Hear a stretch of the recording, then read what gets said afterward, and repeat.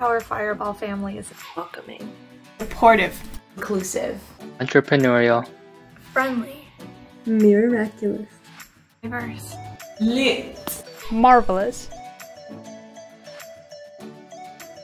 The Fireball Diaries are a blog run by students for students.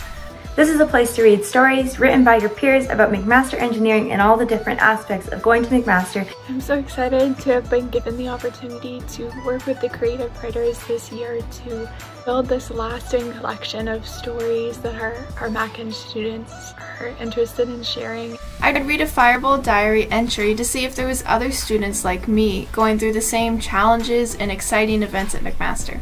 If you're worried about starting at McMaster, trying to find an awesome spot in Hamilton, wondering what stream is best for you, or have any other type of problem in engineering, you should come read the stories written by people who have all gone through the same issues in the past few years. Things are so temporary nowadays that it's nice to have this permanent platform where students' memories and passions and experiences can live and I'm so excited to continue getting submissions, continue sharing our stories, and continue promoting the Fireball family.